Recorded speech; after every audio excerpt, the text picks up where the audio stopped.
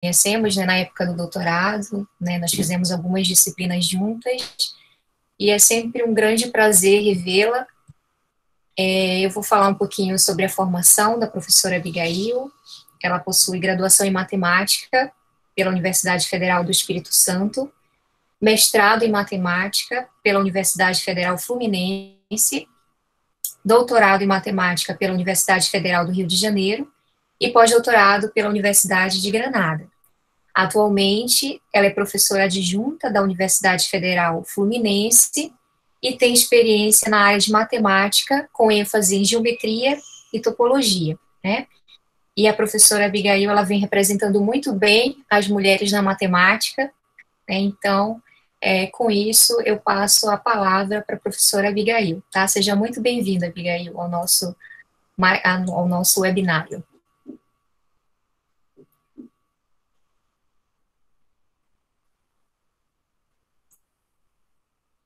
Eu acho que está sem som. Eu estou sem som. Bom dia, gente. Eu espero que estejam todos bem. É... Eu agradeço a, a Rosilene, a professora Rosilene, a professora Inês pelo convite, pela apresentação. É, é um prazer estar aqui, é um prazer ver vocês também. E vou tentar hoje falar alguma coisa é, não, não é uma coisa inicial, mas é uma coisa. Eu não vou falar assim de uma. Eu vou tentar mais fazer uma palestra de, de divulgação, falar um pouco sobre superfícies mínimas, é, que seria uma introdução aí para o que a gente tem pesquisado. Eu vou fechar minha câmera e vou tentar fazer a apresentação. Tá bom?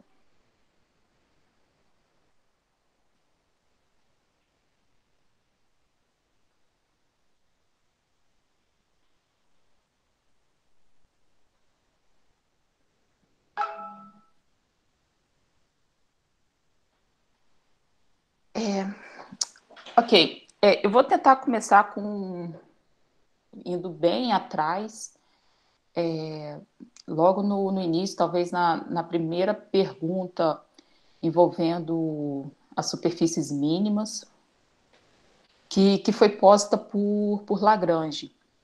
Ele, a pergunta que, que ele colocou foi a seguinte: você pega um conjunto no R2, é, pega esse conjunto razoavelmente bom, então pega ele com um, com um bordo suave, o bordo desse conjunto sendo suave, então isso aqui é uma, é uma região do plano com bordo suave, e pega uma função suave sobre o bordo. A, a pergunta que ele que ele estava interessado em responder é se é possível encontrar alguma função suave, que eu vou chamar aqui de f, de modo que o bordo da F seja igual a essa φ, isso que você prescreveu no bordo, e o gráfico dessa função tenha, enfim, a menor área possível, aí, seja, tenha área menor ou igual a, a qualquer área de outro gráfico que tenha esse mesmo, esse mesmo bordo. Então, só para. Eu vou tentar aqui usar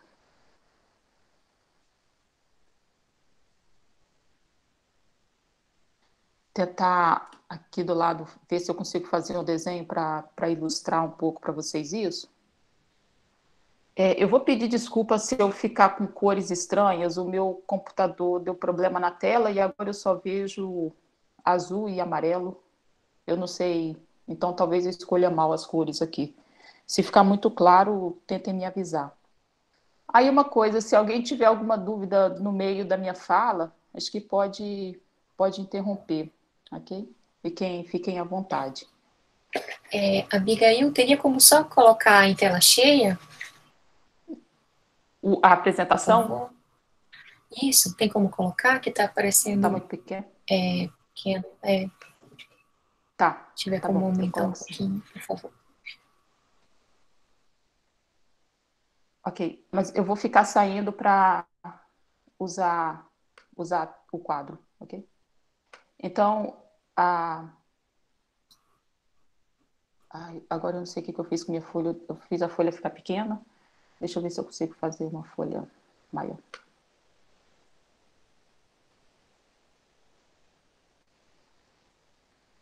É, é, é, eu peço desculpa porque eu estou tentando aprender essas coisas agora e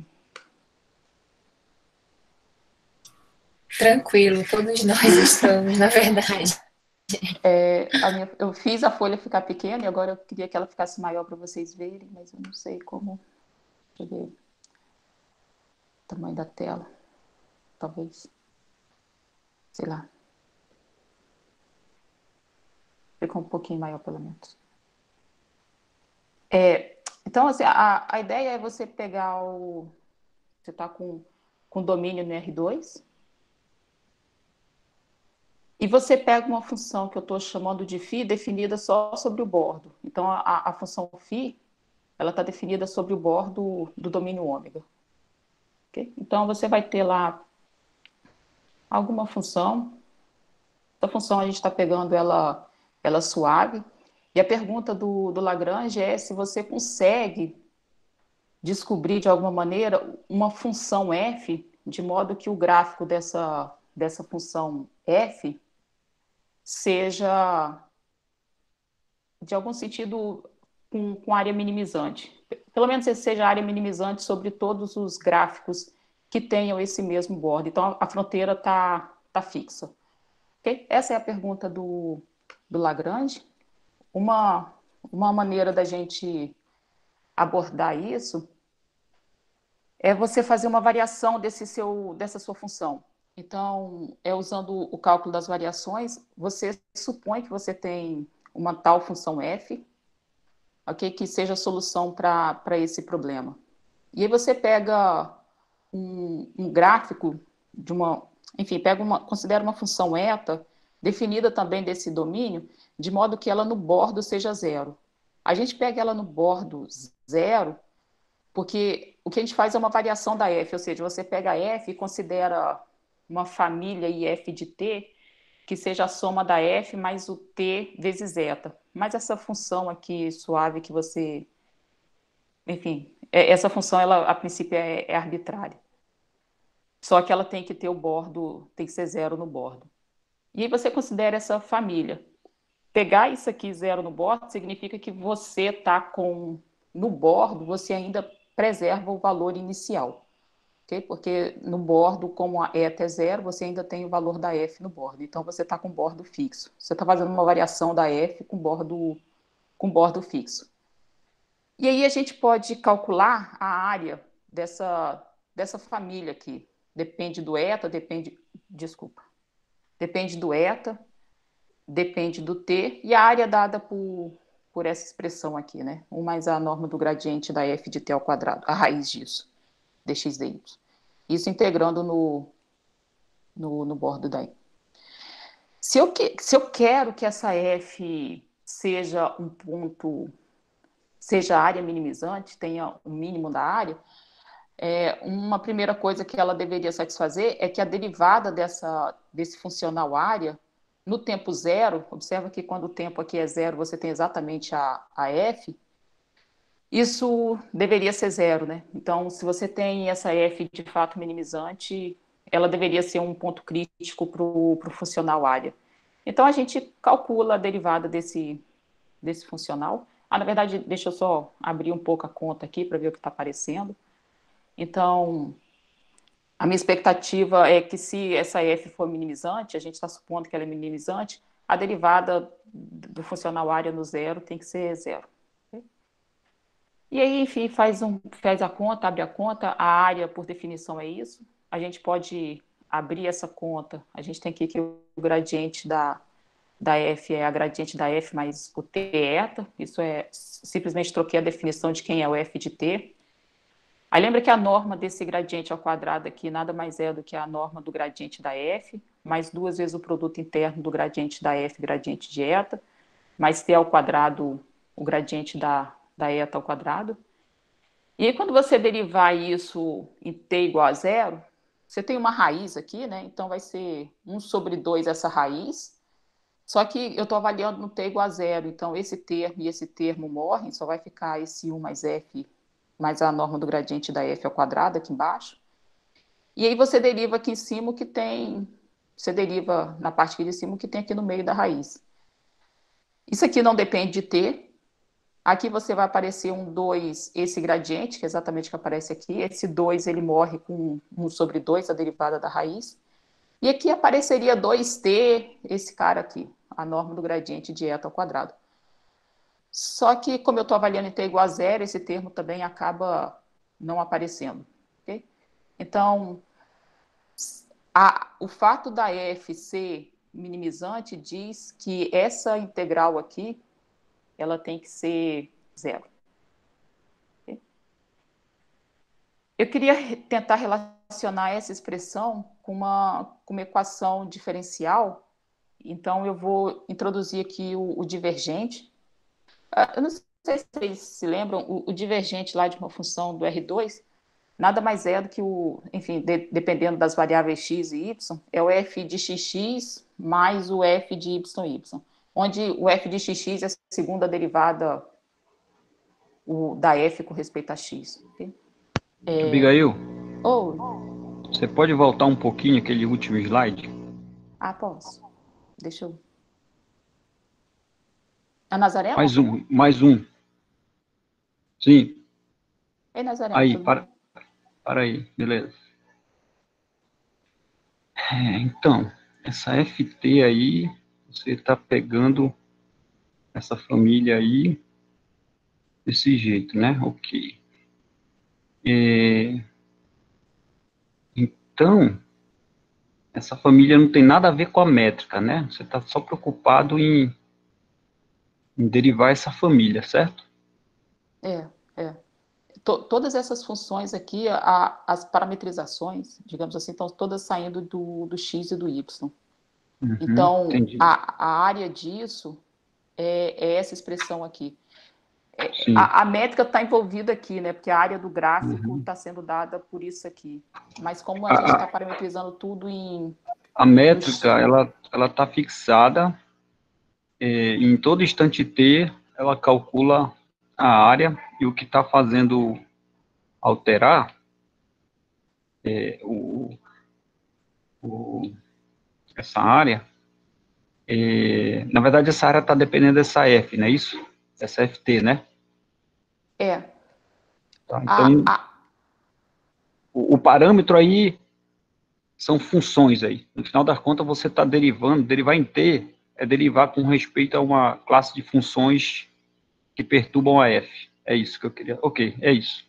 Beleza? É, eu estou derivando ao longo do tempo. A gente está pegando uhum. uma família. Pois é, mas o, mas o tempo aí ele está representando a classe de funções que você está trabalhando nesse caso. Porque, ora, porque em algumas situações o tempo acaba, acaba representando a classe de métricas. Né? Os derivadores são as métricas. Mas eu já entendi, ok. Não, Era não, isso aí não. que eu queria ver. É, é a classe, é, é, é, é a a classe de funções. O T, o T é o índice da família de funções. Uhum.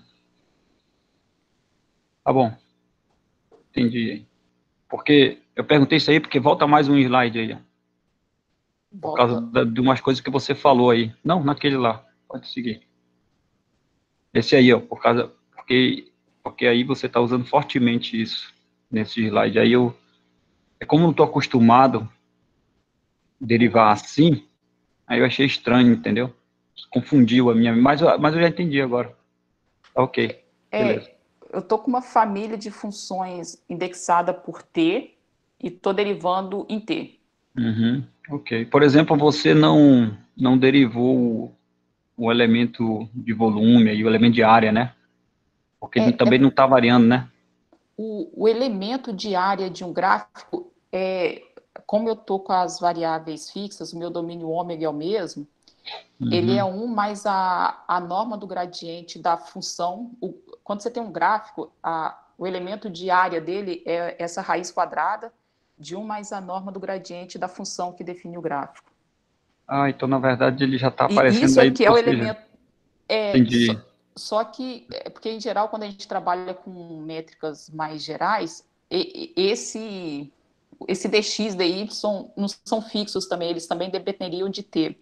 Uhum. O que eu estou falando é que o, o, o, dx e o dy, os dois, é, é, essa eu estou usando a métrica do R2 para aqui. Uhum. Então, a, as coordenadas x e y estão fixadas porque o meu domínio ômega está fixado. Então, eu não estou mexendo na... A minha a parametrização que eu estou considerando aqui do, desse gráfico é, é XY, que manda em X, Y, a F de XY. Ou F de T, né, no indexado do tempo. É, manda o XY pela F de T, né? Manda o XY é, deixa, pela F de T, né? Ok. Deixa eu escrever. Deixa eu talvez escrever isso para ficar claro. A parametrização do, dos meus gráficos, eu vou talvez escrever em letra maior, porque eu não consegui aumentar, não consegui aumentar minha tela aqui. Eita. É, a, a, minha parametrização dos gráficos são x, y, que manda em x, y, f de t, né, porque eu estou com, com tempo aí, né, para cada t, isso para cada t. f de x, y. Ok. O, o elemento de área desse, desse gráfico... É, é aquilo lá, né? É a raiz quadrada uhum. de 1 mais a norma do gradiente da f de t ao quadrado, dx dy. E esses carinhas ficam fixos, porque, enfim, esses carinhas tá, que estão todos em ômega. Eu, eu não estou mudando o meu, o meu domínio. Eles são todos sempre aqui.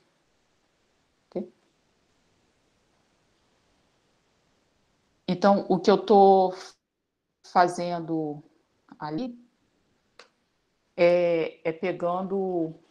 Talvez fazer. Eu não vou conseguir desenhar isso no, como superfície, mas eu consigo talvez desenhar como uma curva. Eu fixo o bordo. Aí eu tenho uma função f lá, digamos que ela, essa aqui é a minha função minimizante. O que eu pego aí é uma, aí eu pego uma variação dela com bordo fixo, para cada T tem aquela etazinha que aí eu venho e, e faço uma perturbação disso. E faço uma perturbação desse... Ação própria, né? É, é uma perturbação própria, ela fixa o bordo. A, a eta restrita ao bordo de ômega tem que ser zero. E aí a gente faz essa, essa variação, a minha derivação está no parâmetro t. Então eu crio uma família de t, e o que eu estou pegando são as áreas dessa f de t, e vari, fazendo a variação com respeito a t disso. Ok? Ok. É porque, assim, é, você foi falando e tal, parece ser meio estranho, mas isso é bem trivial, né? Isso daí é uma coisa aí da. É, acho que do cálculo 2 o cara consegue fazer essas coisas, só para deixar claro para os alunos. É, eu, eu, acho que em cálculo 3 a gente faz isso. A gente olha para esse negócio, eu não sei, é porque cálculo em cada faculdade muda. Eu acho que aqui na, na, onde eu trabalho a gente faz isso em cálculo 3. A gente estuda áreas e volumes em cálculo 3. Eu, tá eu não sei eu não sei lá na UFSCar como é que é, ou na UFAM como é. é a gente estuda em cálculo infinito. É. Tem, Qualquer número. É, enfim. É. Então, então, enfim, a gente a, aparece essa expressão aqui para derivada do, do funcional área. E eu queria tentar transformar isso numa equação. Então, o divergente. O divergente também é uma coisa que a gente estuda em cálculo 3, e aí tem uma expressãozinha para o divergente, que é o produto, quando você faz o produto por uma função vezes um, um campo. E aí sai, sai essa expressão, sai a função vezes o divergente do campo que você está trabalhando, mais o produto interno entre o campo e o gradiente da, da função. Só que aí lá do cálculo também, eu, eu talvez devia ter escrito isso para não ficar trocando de tela toda hora. Lá do cálculo, eu não sei se vocês se lembram, aqui eu, eu queria integrar isso em, em ômega, no, ou no fecho de ômega, ok? Só que a integral desse divergente aqui, no, no domínio, ela é igual à integral no bordo desse campo vezes o conormal do, no bordo. Só que no bordo é até zero. Então, é essa parte aqui zero. Isso significa que esse a linha que a gente descobriu, que, é, que, que essa expressão aqui foi que a gente descobriu para a linha no zero. Esse linha aqui é derivado com respeito ao tempo, no zero, que, que é exatamente essa expressão daqui, vai ser igual a menos essa expressão aqui. A integral disso em ômega bar. Porque a integral disso em ômega bar desse lado de cá é zero. Porque isso é, é igual a integral no bordo disso aqui vezes o conormal ao bordo. Só que lembra, é até zero no bordo. Então, é essa integral zero. Então, a integral desse, essa é menos a integral dessa em ômega barra. Observa que isso tem que valer para, se isso, enfim, a gente está supondo que a nossa f é minimizante, então isso vale para qualquer variação própria. A, varia, a, gente fala variação própria quando fixa o bordo, então vale para qualquer variação que fixa o bordo. Então essa eta aqui é arbitrária, desde que ela fixe seja zero no bordo. Então, em particular, o que você tem aqui, obrigatoriamente, esse divergente tem que ser zero, já que se esse produto aqui tem integral zero para qualquer eta, obrigatoriamente esse divergente aqui tem que ser zero. E aí a gente pode reescrever esse divergente como uma equação aí parcial, como EDP, e aí sai essa expressãozinha aqui, que é conhecida como equação da, das superfícies mínimas.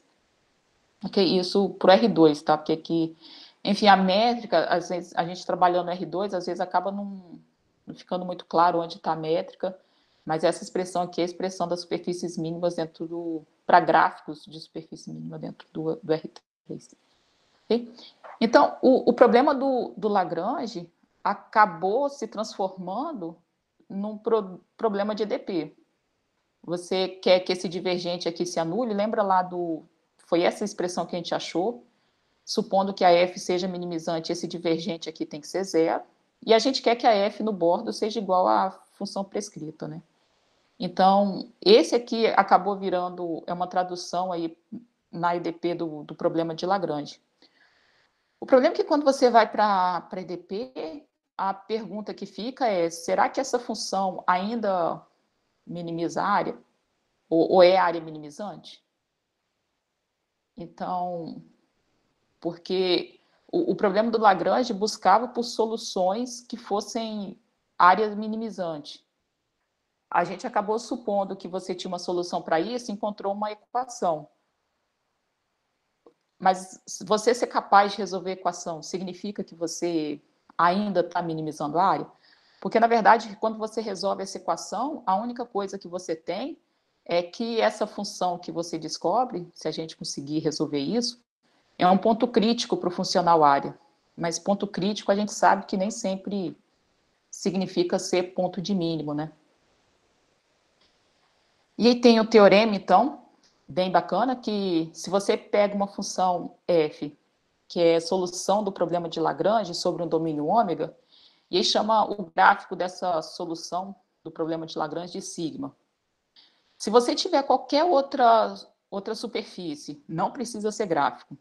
A restrição aqui está em que sigma tem que estar tá contido dentro do cilindro determinado por ômega, ou seja, ômega vezes r, se essa sigma til for qualquer outra superfície com o mesmo bordo, então a área do sigma tem, é menor ou igual à área do sigma til. E, na verdade, a igualdade só vale se você se elas forem iguais. Então, se elas forem diferentes, você tem aqui que a área do sigma, de fato, é estritamente menor. É, em particular, se o sigma for convexo, você tem área minimizante, isso aqui vem enfim, quando você tem um conjunto convexo, se o ômega for convexo, é, essas soluções mínimas elas acabam ficando dentro do, do cilindro. Eu só quero observar que é super importante essa parte do sigma til estar tá contido nesse cilindro. Porque você pode pensar, eu não vou dar uma, uma prova disso, mas você pode, enfim, pensar aqui comigo no, no seguinte: pensa num. É, pensa-se num. Qual seria a solução? Qual seria a solução para o problema de Lagrange num, no disco? A, a, solução aqui, área minimizante, é exatamente. Pensa que isso aqui é um. É, não precisa ser um círculo, não, mas pensa que é uma coisa oval, enfim, é um círculo. Pode pensar que é um círculo, né? A solução para isso é o, a função f constante igual a zero. Tá? O meu bordo é esse aqui que está fixado. Então, uma solução para isso é a função f igual a zero. Ok? Só que agora, pensa que eu vou fazer um buraquinho muito pequeno no meu círculo.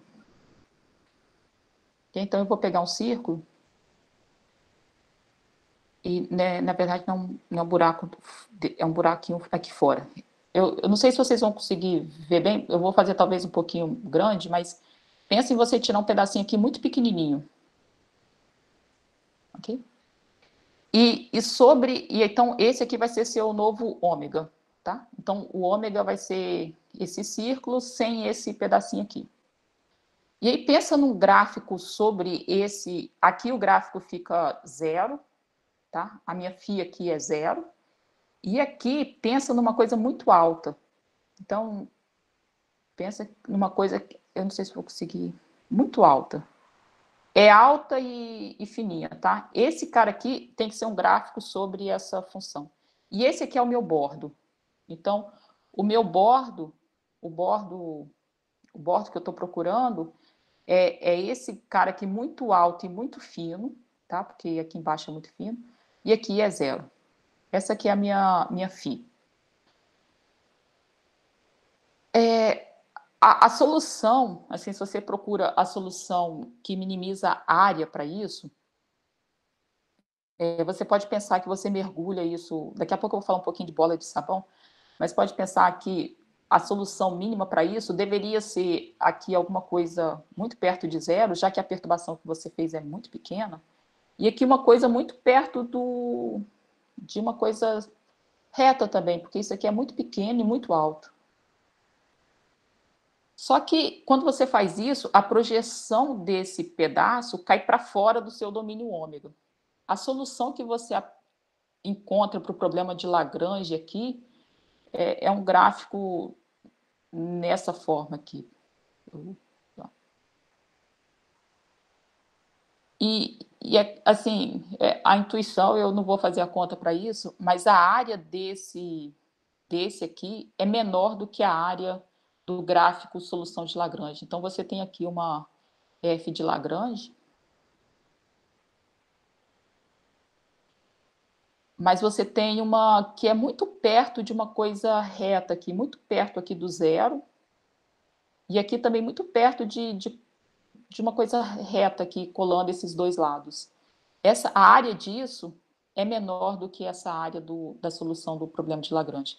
E a importância está em que a projeção dessa, que é a minimizante, no caso, ela cai, a projeção dela cai fora, não está dentro do ômega vezes R. Essa que é minimizante não está contida dentro do ômega vezes R. Então, o, o, teorema que a gente tem diz que, que a solução do Lagrange é minimizante desde que você compare com superfícies que estão dentro do, desse fecho aqui. Ok? Alguns exemplos, assim... Abigail, Oi. deixa eu fazer uma pergunta.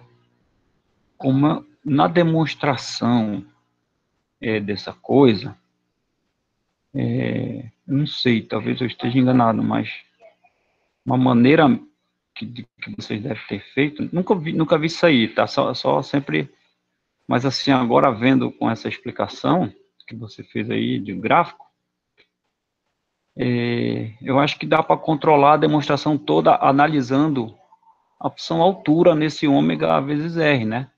Aí eu acho que por meio dela você consegue, por de algumas propriedades dela que você deve fazendo, né? Você consegue dar alguma resposta. Não sei.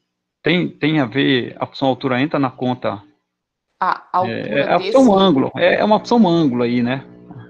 É, é essa altura. Ai, o que, que eu fiz? Ah, eu saí de tudo. Calma aí o, a maneira, assim, para você conseguir comparar e, e dar certo, e, e, essa altura tem que ser alta, isso tem que, tem que ser alto o suficiente e tem que ser fino o suficiente. Porque se, se pegar uma coisa muito aberta aqui, acaba que, que a solução é a solução mesmo do, do Lagrange. Então, tem, tem a ver com a altura do, dessa função que se prescreve e tem a ver com, com o tamanho aqui do, desse buraquinho que a gente pega.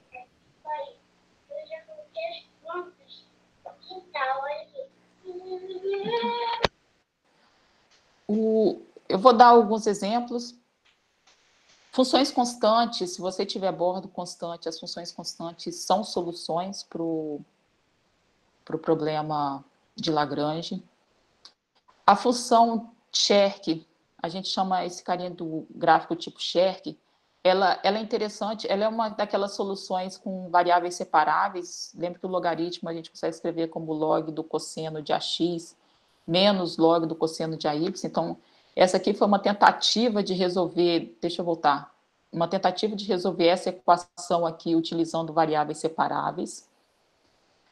Ela é interessante porque aqui não vai dar para ver, mas o valor de bordo prescrito aqui é mais infinito, aqui mais infinito, e aqui menos infinito, aqui menos infinito. E, e, uma outra coisa que é interessante na superfície é que você consegue colar ela bem. Você consegue fazer rotações, porque a princípio ela só está definida em um quadrado. Eu, eu não coloquei aqui o tamanho do quadrado, mas enfim, aqui você tem que variar entre zero, menos pi e pi. Você, você só consegue definir isso dentro de um quadrado. O, o legal é que você consegue fazer as rotações disso e você acaba conseguindo um tabuleiro de xadrez. Aqui você usa a reflexão de, de Schwarz. A, a, ela chega com um ângulo bom aqui no, na quina. Então você consegue refletir, você acaba ganhando um, um tabuleiro de xadrez, onde nessas arestas verticais aqui, isso já deixa de ser um gráfico, né? Porque a gente não considera gráfico porque tem um, tem essa haste aqui que varia de menos infinito até infinito.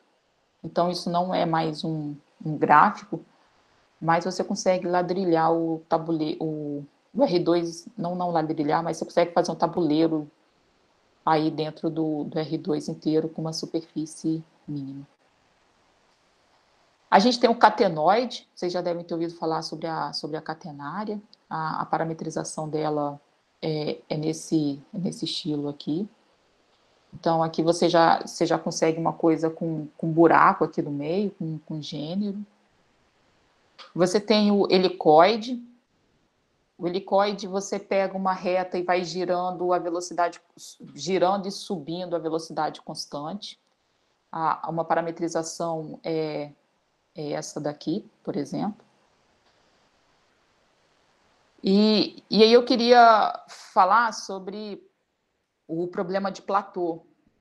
Platô, eu acho que até coloquei ele depois, ele foi um físico que, que a pergunta dele foi: pega, aqui fica, enfim, você pega uma imersão injetiva do círculo, ok? É, talvez eu deixe eu fa falar isso um pouco mais informalmente, depois a gente pode ler, ler a definição. Pega um arame e, e mexe com esse arame que você quiser, desde que você no final considere uma curva fechada. Ok? É, o Platão conseguiu mostrar que se você mergulhar isso em água com sabão e você tirar isso da água com sabão, vai ser formada uma, uma película, uma película de sabão, cujo bordo é esse arco que você deu. E, para surpresa, enfim, é, essa superfície, ela é, ela quando é uma superfície, é, ela é área minimizante. Então, o, o, problema posto mais matematicamente, digamos assim, você pega uma imersão do círculo, então isso aqui, essa imersão do círculo está fazendo o papel de, do seu arame dentro do R3, e você pode, inclusive, considerar que não é uma imersão, exceto num número possível de pontos. Então, você pode ter uma quina ou outra.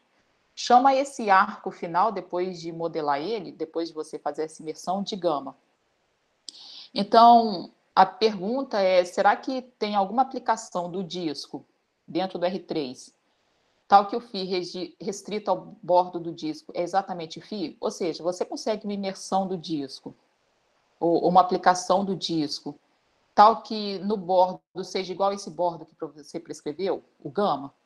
E além disso, que a área desse disso que você conseguiu, dessa, dessa aplicação FI, do gráfico dessa aplicação FI, é menor ou igual à área de todas as outras aplicações do disco, o mesmo bordo? Então, aqui eu estou pegando o disco unitário, e a, a fitil tem que ser, tem que, a gente preserva sempre o bordo, tá? Então, as perguntas são sempre, você consegue alguma coisa com área menor, com, com o bordo fixo? É, só falando um pouco sobre Platô, assim, olha o período que ele fez isso, isso foi em 1880. Se você voltar lá no Lagrange, eu acho que era de 1600 e alguma coisa. Então, passou um, um bom tempo é, essa coisa da superfície mínima sendo estudada. E aí, o que ele, ele, como físico, era matemático também, mas talvez mais do lado físico experimental dele, ele fez muitos estudos com bolha de sabão.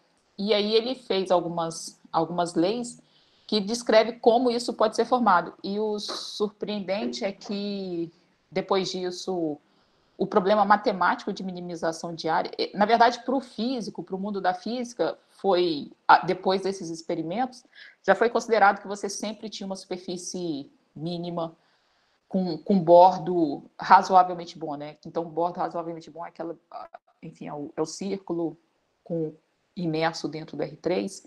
Então, para o mundo físico, isso já foi uma resposta positiva. Para o mundo matemático, levou-se algum tempo para que se resolvesse isso. O, esse problema foi resolvido por Radó e por Douglas. Foi na mesma época, mas foi de modo independente. Então, por volta de 1930. Então, se passaram aí uns 50 anos, ou, ou mais, porque aqui é a morte dele, né? É, para se dar uma solução matemática para um problema que um físico postou e para o físico estava bem resolvido. Eu só queria mostrar um videozinho do YouTube para vocês, porque a, a, ideia é que na física a natureza sempre minimiza o, a área. A, a natureza sempre tenta pegar os caminhos minimizantes.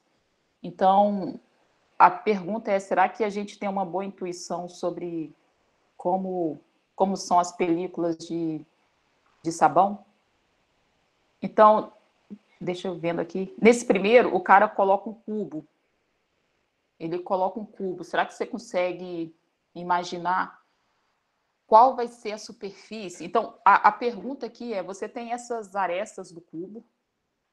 A, o, o que a natureza vai tentar fazer é encontrar o menor caminho para você ir de qualquer uma das arestas para qualquer uma das arestas. Ok? Então, o que será que vai sair daí?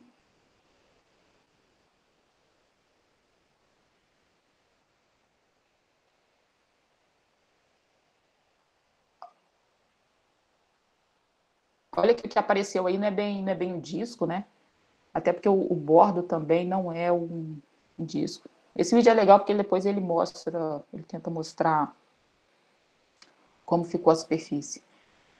Essa que é interessante, é, se você coloca um L, e essa superfície é muito usada como barreira muitas vezes, se você estudar mais artigos sobre superfícies mínimas, uma superfície desse tipo aí, ela muitas vezes é usada como barreira, porque você pode pensar, a gente usa como barreira estendendo isso para mais infinito, aqui está limitado, né? Mas a gente pode estender isso para mais infinito, e o formato dessa, dessa superfície continua o, o mesmo. Ele vai colocar um tetraedro.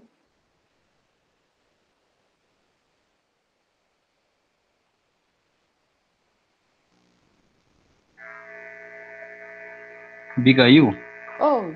é, esses desenhos aí que ele está fazendo aí, esses bordos aí, esses negócios aí, Uhum. Essas pontinhas aí estão suavizadas ou elas estão.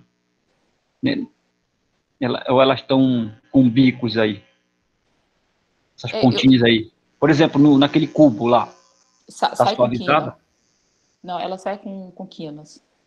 É, ele tem um ângulo, tem um ângulo hum, ali. Tem, então não prejudica, porque eu achava que eu achava que para dar certo ele tinha que suavizar essas pontas, sabe? Mas, é, eu não... mas você vê que a, a resposta que, que se tem aqui não é, no final, o que a gente, em geral, chama de superfície, né? Uhum. Porque tem, tem quinas mesmo. Assim, a, a, a gente fica achando que na, na natureza ela não vai dar quina nenhuma para gente, né? E, e saem umas quinas. O negócio é que boa parte desses bordos que ele está considerando não são não são imersões da, do círculo, né? Quando a gente tem imersões do círculo, a resposta é uma, uma, uma coisa suave, é uma superfície de fato. Porque isso tem muito, né? Todos que a gente vê aí que as crianças usam e tal, essa coisa é toda suavizada. E esse aí que ele está fazendo não é. Por isso que eu achava que não daria. Aí, ah, se eu fosse fazer um outro, então eu teria que fazer e depois suavizar para, de alguma maneira, quando eu puxasse lá de dentro desse líquido, é, sair algo. Eu, achava, eu achava que se não suavizasse, quando eu tirasse, não ia dar em nada. Entendeu? Eu achava isso. Mas agora eu vi aí que dá em alguma coisa. Mesmo não tão suavizado as pontinhas lá. É, mas o, o, o talvez o, o, negócio é que saindo não suavizado, a sua resposta pode ser uma coisa não suavizada. É, tem, tem lá no cubo, por exemplo, deixa eu ver se eu. Isso, isso aqui não é uma. A gente não chama bem isso, a gente não chama isso de superfície, né? Porque tem. Acho que o outro desenho que ele faz acaba sendo um pouco mais claro. É, é difícil falar de suave porque ele não consegue assim, ele não consegue, quando você bota o arco aqui, ele faz um ângulo, mas o ângulo, eu, assim, como, é um, como ele não consegue fazer uma linha chegando a 90 graus e uma linha chegando a 90 graus, isso aqui não é uma, uma quina, né? Eu, eu sei que é uma quina, mas, mas como está arredondado, o negócio é que mesmo enfim, sendo. Eu acho que isso aqui pode até ser considerado como uma coisa suave, Nazareno, porque a, a é, dimensão. É, acaba. Uhum. Você não consegue fazer uma, uma quina perfeita aqui, eu pois acho. É, porque aí não dá para ver, mas, mas, mas lá, se você voltar, dá para ver que parece que todas elas têm tá suavizado assim no desenho. Aí porque já aumentou, aí já prejudicou é. um pouco. Mas aqui você chega com, com ângulo, né? Não é uma, isso aqui não é uma superfície, porque você tem essa cola aqui, né? A gente é. consegue definir bem um, um, plano tangente nesse, nessa saidinha aqui, né? Porque você vem de dois, duas partes e cola em uma. Então, não é uma superfície regular, pelo menos, né? Mas eu acho que para fazer o experimento, o problema talvez é esse, que no, no, na matemática isso aqui seria uma linha, né? E isso seria outra linha. No experimento, quando você joga outra dimensão, eu, eu não vejo como ele fazer isso de modo que não seja suave. Eu acho que isso acaba, acaba sendo suave. Se quiser, eu volto lá no.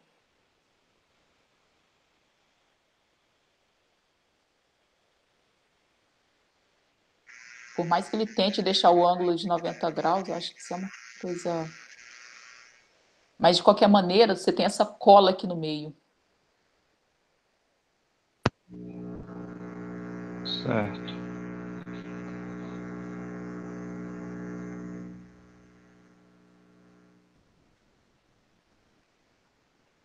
Esse aqui é. Esse aqui é, a, é aquela pergunta: você constrói um, um, condomínio nazareno que é, que é rico aí, vai fazer o condomínio de casa aí para nós visitarmos? Ele vai ficar querendo construir o menor caminho entre as. Aí ele, eu acho que colocou quatro casas. Então a pergunta é: qual seria o menor enfim, a menor estrada conectando as quatro casas simultaneamente.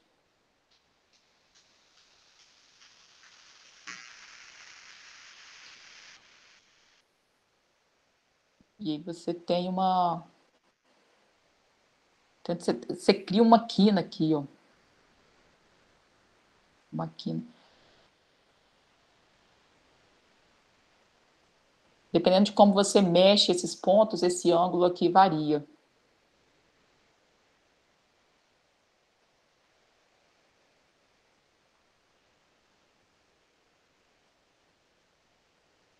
Então,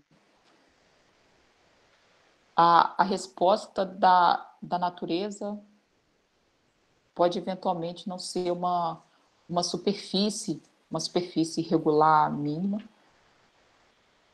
Ali porque a gente está considerando bordos que não vêm de não vem do, de imersões do círculo, porque o teorema de, de Douglas e, e Hadot garantem que se for uma imersão do círculo, você consegue uma superfície que é, que é a imagem do, de um disco. Você consegue a imersão de um disco cujo bordo é o bordo dado.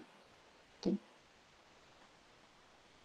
É, talvez para relacionar, deixa eu só, não sei se eu estou falando muito.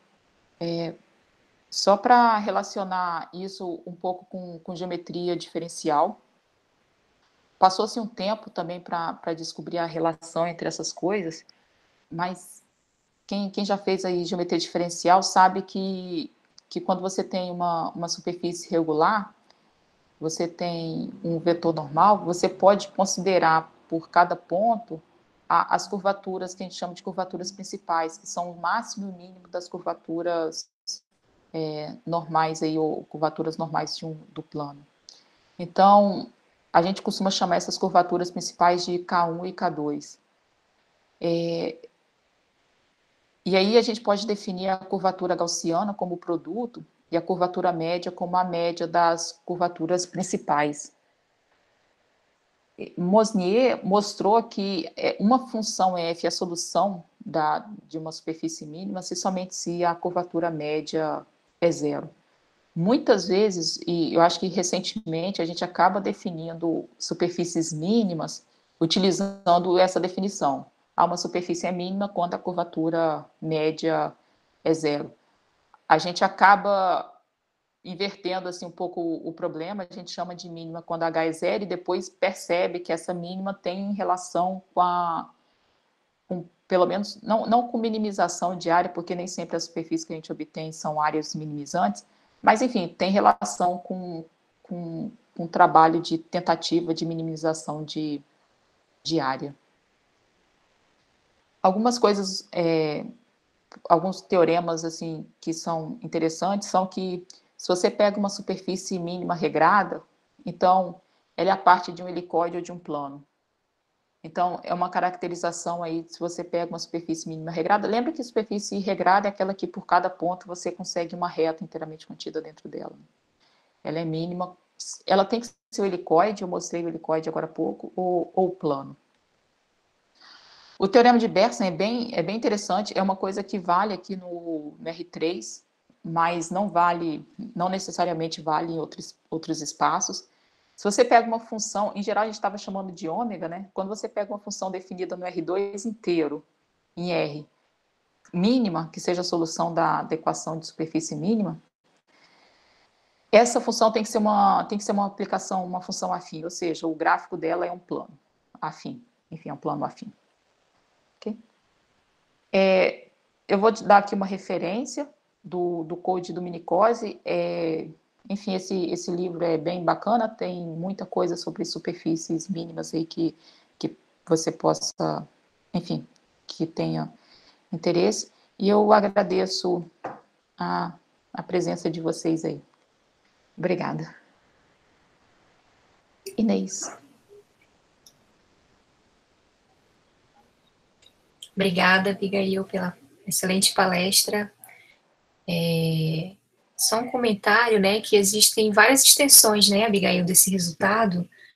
É, eu lembro que até no, nas, nas, na classificação de Tuston, né, a gente consegue perceber que tem muitas extensões, né, daquele resultado que você colocou lá para para gráficos, né? Você poderia comentar, assim, o que que modifica, em geral, nas hipóteses, para alguma variedade, assim, específico?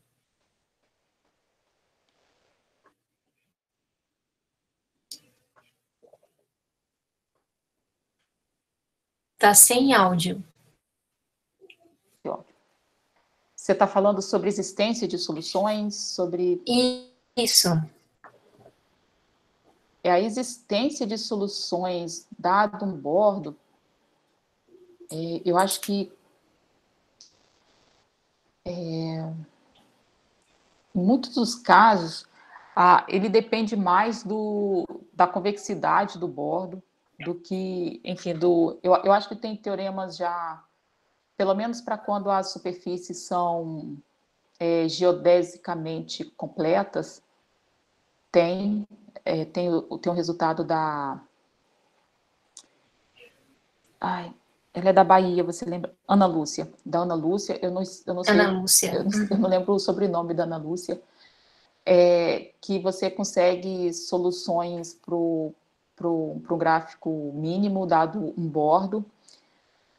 E isso, se for geodesicamente completo, em geral, é, é uma exigência que o domínio seja convexo para você resolver, em casos, assim, resolver EDP de modo mais geral. E eu não quero arriscar aqui, mas eu, eu tenho a impressão de que essa solução, na verdade, você consegue. Eu não vou chutar, não, desculpe nisso. Eu, eu paro por aqui. Eu sei que tem até geodesicamente completo. Você quer completar, Nazareno? Eu acho que é porque EDP não é bem. Mas eu acho que se eu não me engano, se você tem domínios convexos, você consegue resolver o problema de Dirichlet para ele. É, assim, é, tem uma tem uma uma teoria variacional que de posse de convexidade de domínios, isso daí está lá no é, talvez até o Moacir saiba bastante disso, está lá no, no Eita, me esqueci agora. No, no, no, no, no livro de, de talvez no, no Gilbert que também tem, mas eu, eu, acho que no próprio livro de sonal. No. Bom, esqueci. É, no livro de sonal tem uma parte lá que ele não faz EDP, mas ele faz umas coisas lá é, que, que é o básico para você resolver EDPs com aquela teoria são várias maneiras de resolver. Aí uma delas é você você você precisa de que o bicho lá seja convexo e tal, e mais alguma coisa lá que vão sair naturalmente. É, é, a convexidade você pede como hipótese porque você quer usar aquela teoria. É isso. Não é que ela é necessária, ela é necessária no problema. Não é que ela é necessária no problema. É que ela é necessária para aquele tipo de solução que você vai dar. Entende? É, e... Em geral, a complexidade pede quando você quer resolver um problema de modo muito geral, né? Mas ela uhum. não é uma coisa necessária. Se você está com um problema assim, específico, tem que se pesquisar sobre o problema específico, ver se você tem as barreiras. Em geral, resolver por EDP vai por barreira, subsolução, supersolução, por exemplo. É, é tipo assim, sob a hipótese de de convexidade, você consegue estabelecer critérios, vamos dizer assim, para você. É isso que eu estou dizendo. Tem lá, é, é, bonito e não é muito difícil não. E, mas daí, eu não sei se eu, se eu posso perguntar alguma coisa aí, porque aí eu acho melhor ver com a Inês aí se eu posso perguntar uma outra coisa. Pode sim, Nazareno, fique à vontade. Então, aí, assim, é, então a primeira coisa é essa, o complemento aí que a Abigail falou, é nessa direção, é, a história é longa, né, dá para falar aqui. Inclusive, eu tive a, a, grande sorte de, sem, foi sem querer, por isso que eu digo que é sorte, eu estava num, eu estava, é, aonde é que era? Era no Lafayette College, lá na, esqueci a cidade lá. Aí eu encontrei, aí eu fui para um seminário, adivinha quem estava lá? O Davi Máximo. Aí você sabe que o Davi Máximo é. estuda pra caramba isso. Só que ele fez isso, amiga, do ponto de vista de, de gêneros, um negócio muito massa, muito porreta, eu nunca tinha visto. A palestra dele foi muito show, eu fiquei até motivado a, a, a não a, a, trabalhar nisso, porque eu não trabalho com isso, né? mas a estudar, a olhar, porque é bacana, eu achei massa. Ele está escrevendo umas notas sobre isso, só que eu acho que ele não vai passar para ninguém. Está lá no caderno dele, o caderno dele já está cheio. é muito poeta. Então, só para você ver o quão, o quão essa teoria é rica, né? Ele pegou, ele viu que estava fazendo, rapaz, agora ele disse, eu vou investir nisso aqui agora, porque o pessoal não está fazendo, então eu tenho que fazer algum teorema para fazer isso aqui. Os caras acharam muito porreta lá, tinha um monte de especialistas, os caras, pô, cara, isso aí é legal e tal. Mas enfim, isso é uma questão geral. O que eu queria é, é, perguntar uma coisa que eu não sei. É que é o seguinte, você falou lá da, do H igual a zero, a gente define, ah, aí vamos falar no, no sentido geral, uma subvariedade é mínima quando a curvatura média é zero, tal. É, mas a gente sabe que isso daí é como você falou, né? Não necessariamente essa subvariedade vai minimizar a área, né? Mas assim, a, a chance é grande de localmente ela estar tá minimizando a área, né? Isso daí é, é fato também. Aí o que eu não me lembro é o seguinte: existe alguma chance de quando a, a curvatura média é nula, do ponto de vista de qualquer ponto de vista aí, hipersuperfície, de, de, de variedade de qualquer lugar, de qualquer ponto de vista, é, existe alguma chance de, se a curvatura média é nula, então é, você percebe que localmente ela existe chance dela ficar minimizando área. Mas a, a pergunta é, é, existe alguma chance dela nem localmente minimizar a área? Você sabe algo sobre isso ou não? Não, lo localmente elas, elas minimizam a área. O... Mas, mas sempre, sempre, para qualquer uma? Tem algum caso lá que, em algum ponto, que ela, naquele, não vai minimizar? Eu não sei, eu estou perguntando. Entendeu? Eu... Existe algum, algum resultado que diz, olha, ela não minimiza sempre, mas localmente ela sempre minimiza. Existe isso? Ou então é trivial. Que trivial não, não para mim, né? Para mim não é trivial, mas de alguma maneira é trivial ver que ela localmente minimiza. É essa a pergunta. O,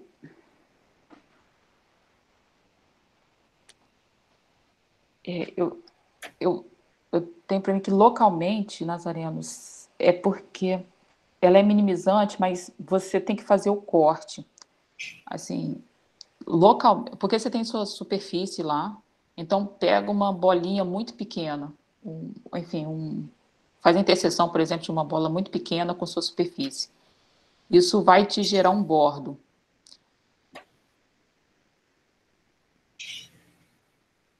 É,